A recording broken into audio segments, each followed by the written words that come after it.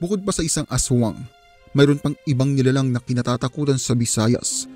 Ilang mga tao na din ang nagbibigay ng kwento na sila daw ay makakapagpatunay na totoo ang nilalang na ito. Tunay ngang ang ating bansa ay pinamamahayan ng iba't ibang halimaw, engkanto at elemento na kinatatakutan ng mga tao. Halina at kilalanin natin ang kinikilalang tamawo.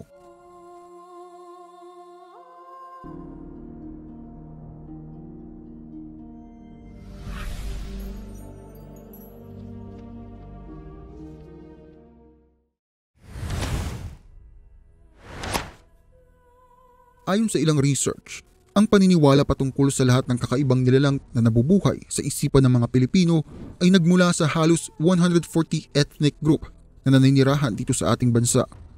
Kung bubuuin, halos limang daang nilalang ang pinaniniwalaan nating mga Pinoy at ang lahat ng ito ay mayroong kanya-kanyang pagkakakilanlan.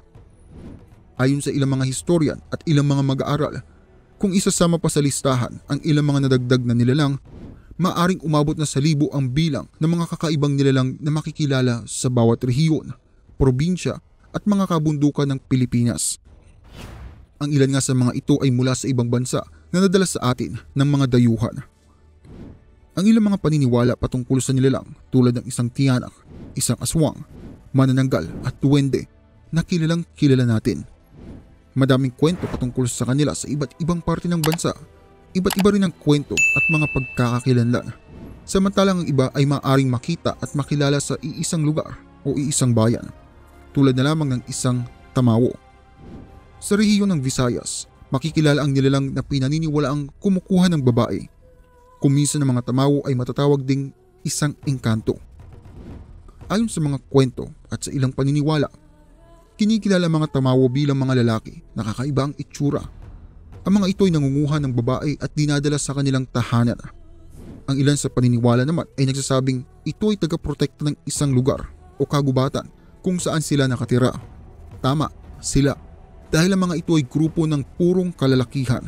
Ito ang dahilan sa paniniwalang ang pagkuha nila sa kababaihan ay isang paraan upang makapagparami.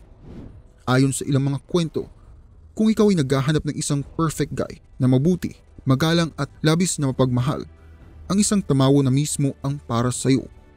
Pero ayon din sa paniniwala, iilang mga babae lamang ang maaring makakita sa nilalang na ito.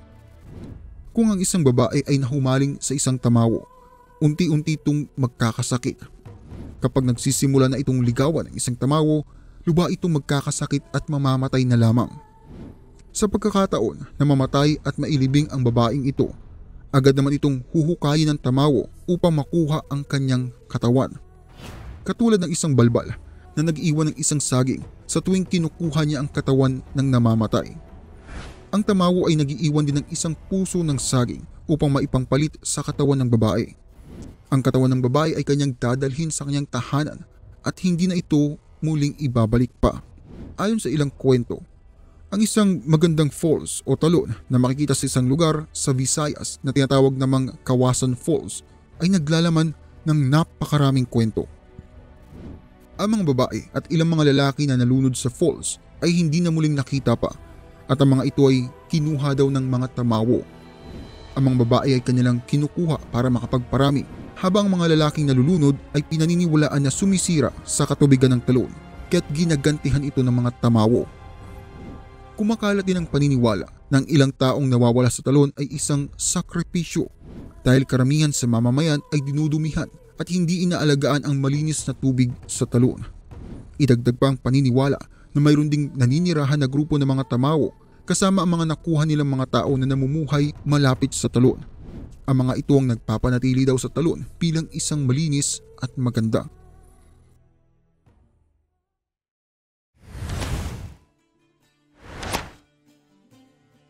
Ayon sa paniniwala ng mga tao sa Visayas, ang tamawo ay nagtataglay ng isang maputing balat at isang kakaibang mukha ng isang lalaki.